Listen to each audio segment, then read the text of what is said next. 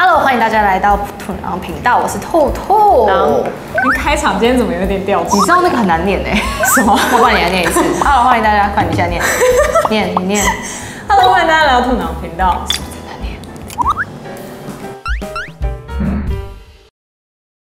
我们最终十万了，订阅十。万了，对，订阅啦是订阅。啊咋？来，快点，来来来，快点，来来来来，我闻一下。哇，哇，终于有这一块了，有没有？闪闪亮亮的，让它来遮住我的脸，我也 OK。第一大类是关于小孩的，好，有比较想要生男生还是女生吗？其实有，其实我可以直接讲，我们就是想要生一男一女这样子。对，但是情况就是要情况是。如何呢？我们必须要等这些蛋都孵出来之后，我们才知道。跟大家预告已经在进行了，只是还没有结果。等结果出来之后，我们也会再拍一支拍这影片给你们大家看，我们一起来揭晓我们小孩的性别。嗯，第二题，有想已经想好小孩的名字了吗？你好像有一个特别喜欢的字，你喜欢木对，哪个木啊？那叫？羡慕的慕。对，他喜欢羡慕的木。我觉得很有气质可是因为我们又非常的在乎那个算命嘛，我们比较迷信。对，我们是超迷信的，所以说我们就会去看，就是到时候小孩出生之后再把他生成八字给老师，所以还是会看过一次，就是这个名字合不合适。对如果合适的话，就用他喜欢的字。对，如果不合适的话，就是看老师算出来是什么字，我再从里面挑。对，然后基本上我们两个小孩应该是有一个字一定会一样。这对，就是两只的中间，如果假设木可以用的话，就是木什么跟牧什么。对对对对对对就这样。对。然后万岁是牧羊犬。有预计什么时候要去美国生小孩吗？有，就是因为我的目标就是要生一只兔年的小孩。大家不要立刻说哦，因为你叫兔兔嘛，no no no，是因为我属羊，然后生属兔的小孩是对我比较好，也对小孩比较好，对大家比较好。所以说呢，我们就决定要就是生一个兔宝宝。生一个兔宝宝，而且因为他会跟我姓，所以说就是以姓黄来说的话，就是就是猪羊兔是最好的，三合最近的时间就是现在兔年了。教导未来的小孩有什么想法吗？来这里交给狼。对，我们希望小孩是在不限制他的情况下让他发展，但是等到他慢慢开始理解这世界的时候，我们当然还是会教他，就是关于这世界上的对他的规范跟限制是什么。他有他想要做的事情，可是如果跟呃社会的法律啊或者是规定不符合的时候，他又要怎么去应对？听起来好官方哦。没有是真的，我相信很多家长都想要这样做，嗯但是实际做的时候会遇到的一些困难，然后我希望我们是有办法克服这个困难的。对，生小孩大概要花多少钱？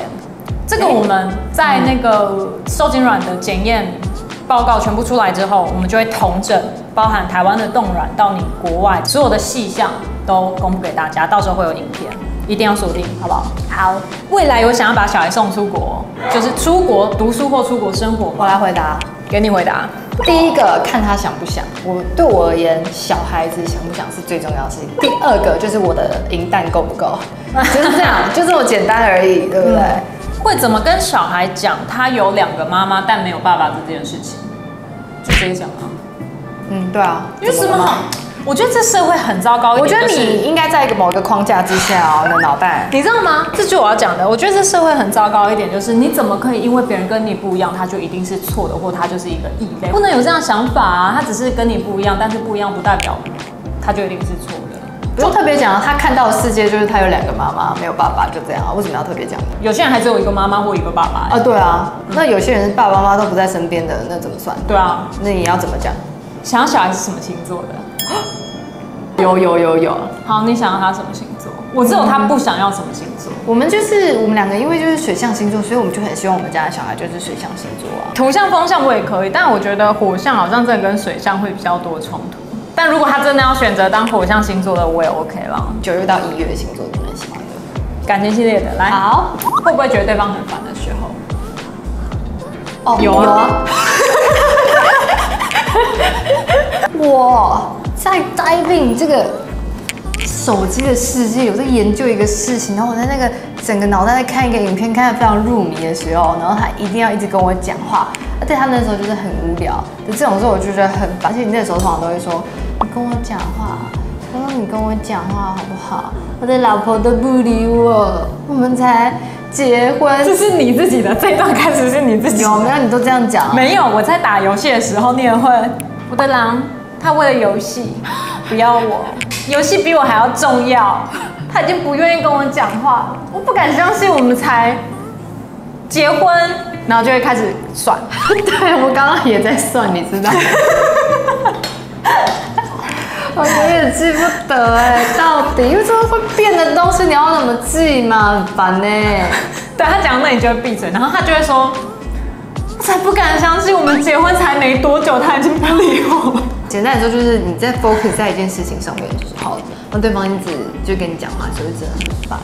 好，假设我们两个人对一件事情看法不同的时候，我们怎么解决的？怎么沟通的？先说出目的，然后讲出范围，也就是说我能接受的范围是什么，你能接受的范围是什么，然后找出平衡点。平衡点。有的时候，因为对方讲出他的范围之后，你可能会调整自己的范围，因为有些部分是你没有想到的。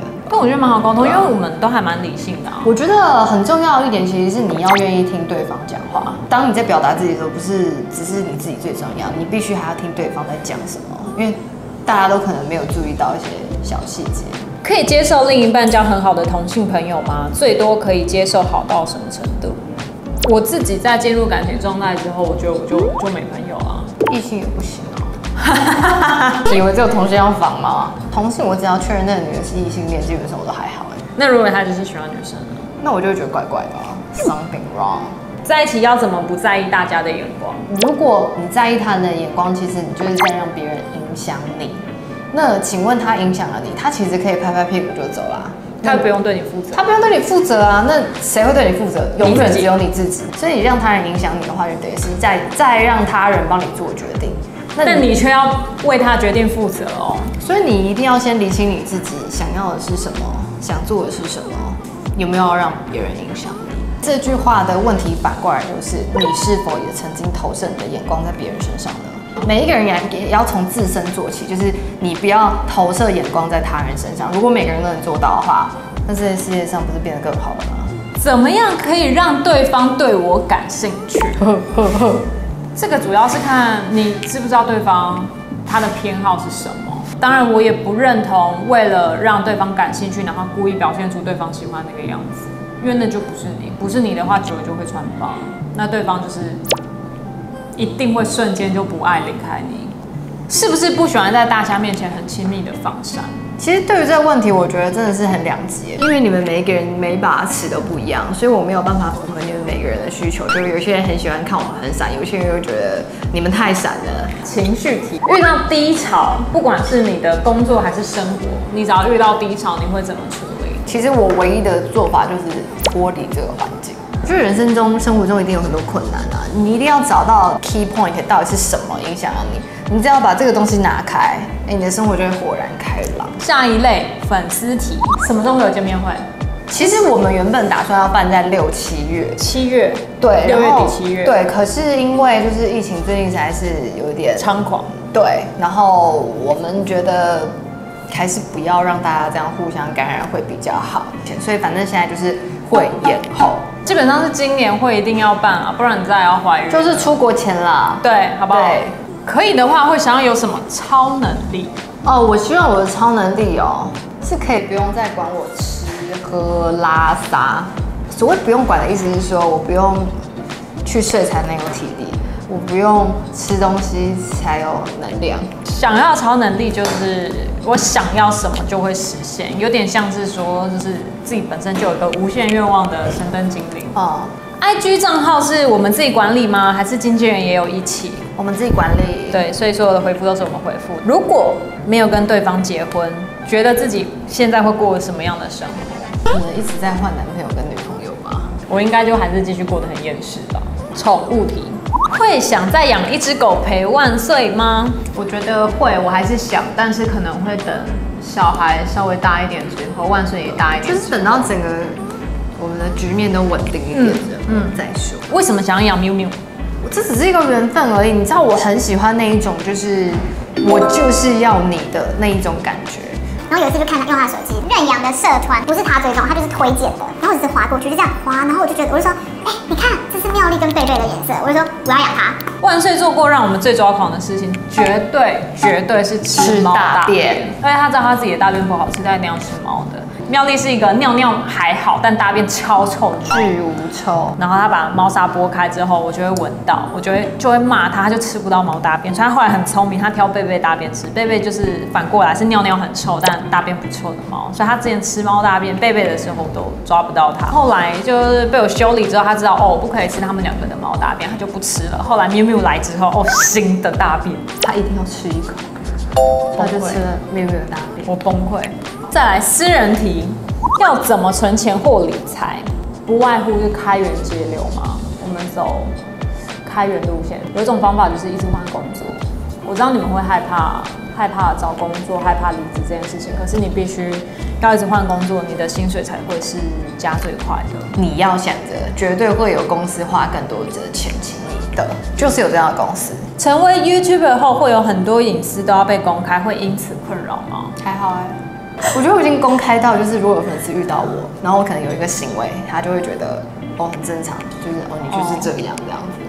好，我好像也习惯了。学生时代参加过什么社团？我参加过戏剧社、吉他社跟热舞社，你好丰富哦。对我是很丰富的人我类。高中因为就是校队的，所以我就是只能打手球。然后大学因为我是体保生，所以我还是只能打手球。狼之后还会再回去上班吗？不必要的话不会，因为我后来发现，其实全职家庭主妇也很忙。想知道两个投射者怎么相处比较好？欢迎来到郎老师的人类图小教室。那我们就是接下来报名链接在这边了，好不好？还没完成的人生清单，在华联资产。这是我近期的下一个大目标，还有一个就是我要换大车子，因为我们家家的成员有点太多了。我个人是蛮喜欢福斯啊，所以如果福斯有看到这个影片或者有业务看到的话，欢迎来私讯。狼是去澳洲哪里打工度假？雪梨，因为我不打算买车，所以我就是要在一个交通便利的地方。结婚多年后还会常常做吗？生活越来越忙的话，真的会比较少。像我们两个昨天晚上就是一碰到床就睡着，关机瞬间关机死。亡哎、对，因为我们最近太累了。房子的事情，婚前就有先同居吗？有对，我把他带回家睡。对，为什么选择在花莲 long stay？因为我很喜欢花莲啊。哦，你一定没有再好好看我们的频道，对不对？那没关系，我在这边好好跟你说，我本身是读东华大学的。我长大了之后，我还是觉得我很喜欢花莲，所以我就三不五时就开始拐骗它。会 long stay 真正的重点其实就在于她怀孕之后可能不太适合长时间待在外地吧，之后有小孩可能会被小孩绑住，想要在最后的两人世界加宠物的时候去最喜欢的地方 long stay。没错，好，我们是二十四小时都在一起吗？几乎。几乎哎、你们会一起洗澡吗？会啊，我们会从同居开始就一起洗澡。到现在还是。狼之后会教教授人类图吗？会，我现在在等我的一阶引导师的认证下来。如果认证下来之后，我就会开人类图一阶的课程，那还是再欢迎大家报名。为什么一直搬家？因为我就是还没有买房子，所以我就会一直搬家，而且我个人觉得一直搬家挺好的啊。我们搬家其实有时候是为了降低生活成本。买林口之前搬的位置是，我觉得房租是很便宜，空间够大的。能不搬家，我当然也不想搬啊。那我个人其实蛮喜欢搬家的。我不喜欢搬家，我觉得好累。最后一个系列频道系列的狼的肺片什么时候会再出？好逼哦！有一个主题就有机会，好不好？那个主题只能 for me 的就有机会。什么时候会开箱新家？新家已经开箱啦，但是装潢后的开箱要等装潢后再开箱啊。对，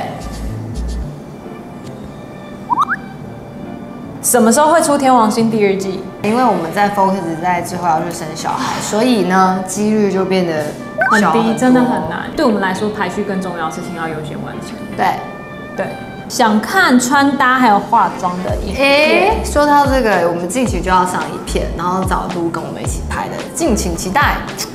希望多拍一些玩游戏的影片，还要有惩罚啊？那不是你们流量上来啊？你要让我看到我们玩游戏的流量上来，我们才会一直拍啊，不然这样怎么继续拍啊？素质好了，我们当然就会愿意继续投注心力嘛，对不对？所以就是反映在哪一个系列影片流量高，那就是对我们认定就是哦，你们喜欢看的影片，那我们当然就会更愿意投入资源下去拍了。是的，嗯，好，一开始拍片到现在，有最喜欢什么阶段的自己吗？我只知道有一篇我超喜欢的，就是那个淡水的背痛的那个我超爱，因为我觉得那一个的时空背景是以我觉我记得我好像很那个时候工作不太顺利，然后好像压力很大，然后他就带我去淡水，开到一半的时候我就跟他说，哎、我背痛。然后他说啊怎么办？那现在回家吗？我说不要不要，我要去淡水。然后我就这样子，我就这样子在淡水走，我们不是问最喜欢的影片，我们是问最喜欢什么阶段的自己阶段，就是那个时候我就喜欢。你喜欢那个那个 stage 的你？就觉得腰痛。不是，我不是喜欢我腰痛，我是喜欢那个里面的自己啊。我每次都觉得越来越好，你有这样感觉吗？就是看现在的影片，再回去看过去的影片，你都会觉得现在比较好，有吗？有，迟疑了。对，但是我觉得设备变好，就是一切都会不一样啊。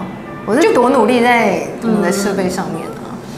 影片走到现在，我我们比较有办法讲我们自己想要讲的东西，嗯，所以我觉得这是我喜欢越来越好的那种的感觉。狼也可以访问前任吗？不行啊，我前任都死了啊、我没有办法接受一个曾经这么亲密的人，然后变成分手之后变成陌生人，然后我看到你，我就会想到你有多了解我，或者是我们曾经多深入过，我就觉得不行，这件事情我过不去。这是为什么分手之后我都让前任直接死亡，就是当当事人黑名单资料全部删除，就这样。嗯，所以不会不会有前任的影片。